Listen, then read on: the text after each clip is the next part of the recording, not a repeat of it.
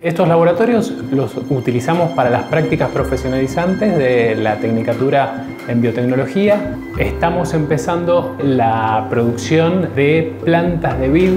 libres de virus para la cooperativa Algarrobo Bonito y esto es parte de una colaboración con la cooperativa y con el grupo del doctor Gómez Talquenca, que son los especialistas en virus de la vid, para que productores vitivinícolas puedan usar este material especial y al ser libre de virus va a tener una mayor productividad gracias a el subsidio que recibimos del INAES que nos permitió equipar íntegramente el laboratorio, nos permite no solo arrancar con esta producción de plantas in vitro por micropropagación, sino también pensar en muchos más proyectos que hasta ahora los teníamos en etapa de idea-proyecto y ahora vamos a poder empezar a tener las pruebas de concepto, es decir, generar resultados.